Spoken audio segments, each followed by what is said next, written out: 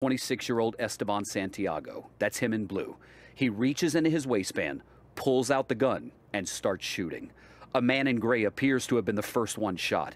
People behind him drop to the floor. One woman hides behind a luggage cart. There is no audio on the 20 second recording posted by TMZ. It appears to be authentic surveillance video, but it's unclear how TMZ got the video.